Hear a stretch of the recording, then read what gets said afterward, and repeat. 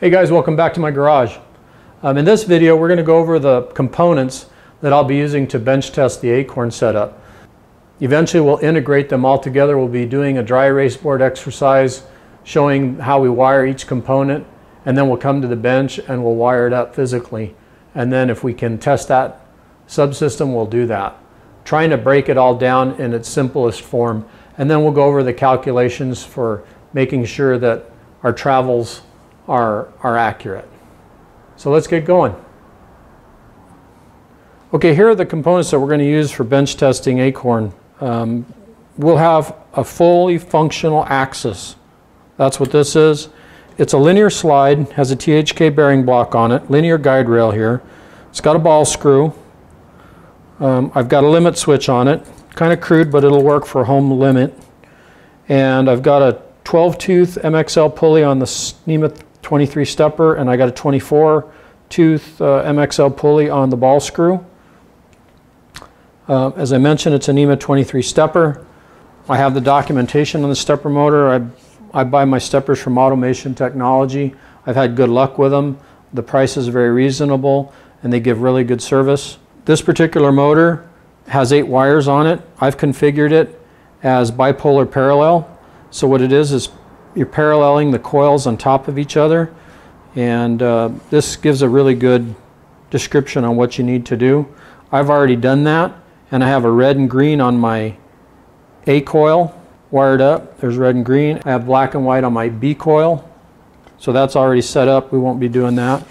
Um, on the note of steppers and drives, I mean, there's so many of them out there. It's hard to go over each one of them.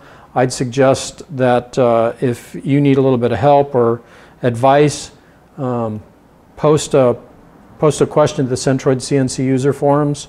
Um, if you can, give the stepper motor make and model number and cut sheet, and then your stepper driver. If you've got a cut sheet on it, post it as well. I know that's a, a whole nother uh, issue for the DIYers is how do I choose stepper drives and stepper motors? So, and that's almost impossible to discuss here.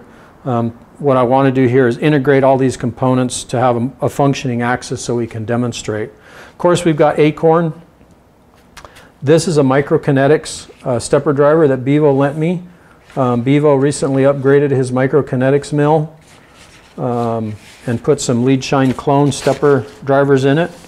Uh, Microkinetics is good enough to have all their documentation posted online, so I was able to download the documentation for the for this Microkinetics stepper drive. That's that. It's configurable. Uh, I think it does half step and full step. It also has dip switches to select the current of the motor. And the current in bipolar parallel is 3 amps. So we should be fine. That, that Microkinetics stepper driver can handle that. This is the stepper power supply. It's a 24 volt power supply. It's way more than enough that we need to drive this little bitty NEMA 23 stepper motor.